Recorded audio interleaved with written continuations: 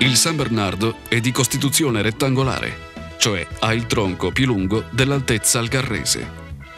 La sua ossatura è la più forte della specie canina. I suoi muscoli sono molto potenti e tuttavia lunghi.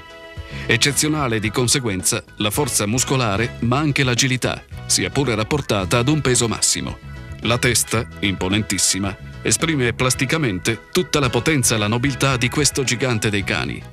Angolosa e con rilievi ossei ben evidenziati, ha una lunghezza pari a circa il 36% dell'altezza algarrese. Sua caratteristica imprescindibile di tipo è la convergenza degli assi longitudinali superiori del cranio e del muso.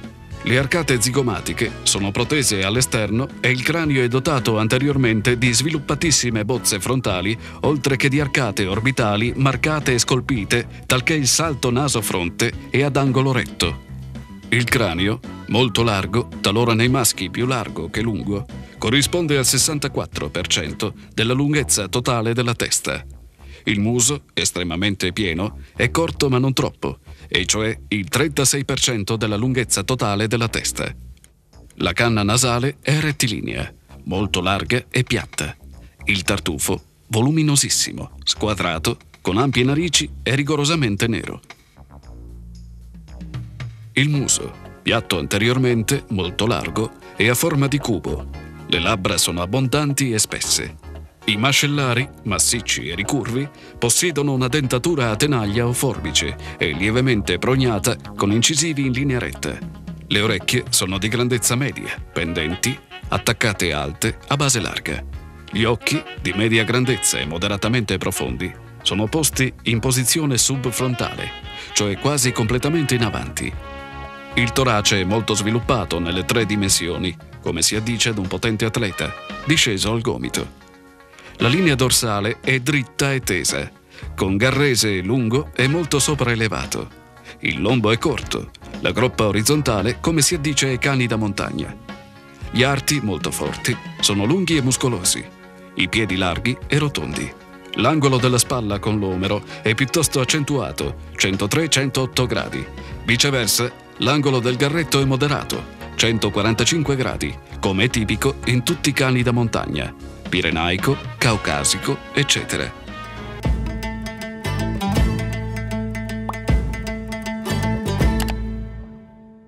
Il pelo, nella varietà cosiddetta a pelo corto, è di lunghezza medio-corto, fino a 5 cm sulla groppa, aderente, folto, sostenuto ma non ruvido.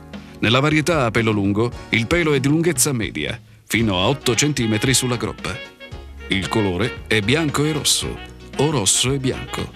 Le pezzature bianche devono essere luminose e prive di moschettature. Obbligatoriamente bianchi sono collare, canna nasale, petto, piedi e punta della coda.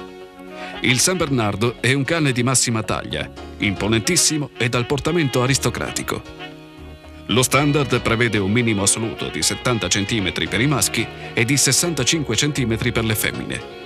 Questi minimi sono veramente miseri e sarebbe auspicabile di avere un minimo assoluto di 78-80 per i maschi e di 70-72 per le femmine. Ciò non è mai stato accettato dalla Svizzera, cui la razza appartiene, perché possedendo attualmente cani più piccoli rispetto all'Italia, gli allevatori elvetici vedrebbero tagliata fuori parte della loro produzione. Per fortuna, lo standard non prevede una taglia massima come avviene in tutte le altre razze, esclusi l'alano e l'Irish Wolfhound, le cui stature anche un buon San Bernardo deve raggiungere.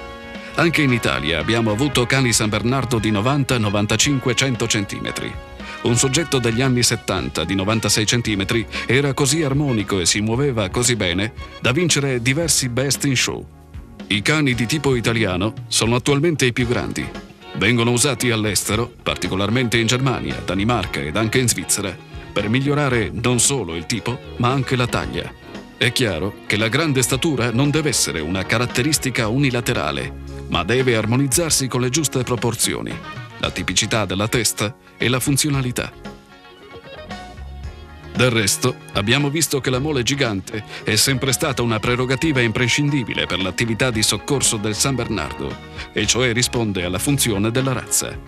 Il peso, nei soggetti di massima taglia, può raggiungere e superare i 100 kg.